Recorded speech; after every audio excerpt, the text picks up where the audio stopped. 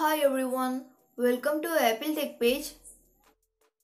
In this tutorial, I will show you how to fix Apple Notes app blank screen and no additional text issue on iPhone after iOS update. Solution 1 is force quit Notes app and disable Wi-Fi and cellular data. First, force quit Notes app, then turn off Wi-Fi and cellular data if it's turned on. Now open Notes app to check if problem has been solved or not. Solution 2 is turn on and turn off airplane mode. Open Settings app. Turn on airplane mode and wait for 30 seconds.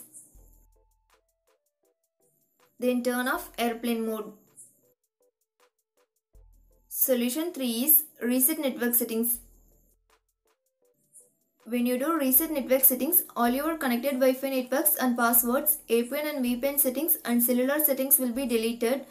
Before starting this process, make sure that you know your Wi-Fi password. Go to Settings app. Next, tap on General. Scroll down to bottom and tap on Reset. Here, you have to tap Reset Network Settings.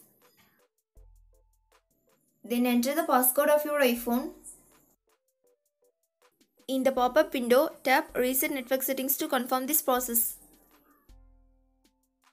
Solution 4 is check for software update. First, connect your iPhone to Wi-Fi, then open Settings app. Next, find and tap on General. Now tap on Software Update.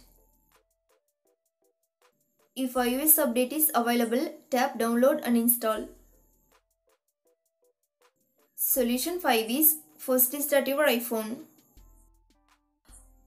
If you have iPhone 8 and later models and iPhone SE second generation, then do the following steps to force restart.